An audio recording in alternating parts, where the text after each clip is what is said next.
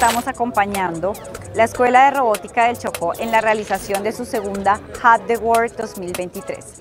El Ministerio se ha sumado a este importante evento con el propósito de potenciar los talentos TI en la región. Principalmente desde el Viceministerio de Educación Preescolar Básica y Media estamos impulsando los centros de interés en ciencia y tecnología.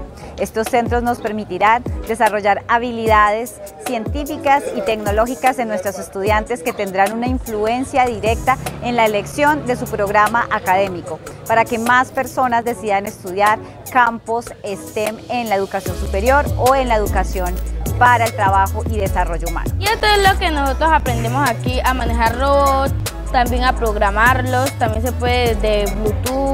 Mi materia favorita es naturales, me gusta y me va muy excelente en naturales y en matemática también. Ahora me estoy pues metiendo más en lo de robótica, me quiero más enfocar en hacer robots y todas esas cosas. En la escuela trabajamos en un programa que se llama, que se llama Scratch, que ahí podemos programar videojuegos. Los robots, algunos vienen desarmados y nosotros lo que hacemos es ver el manual y armarlos cada pieza como dice en el manual. Por ejemplo, aquí este robot tiene una, una programación que sirve de matemáticas. Quibdó es una ciudad que tiene múltiples retos, temas de desempleo, inseguridad, la educación de calidad es uno de nuestros anhelos.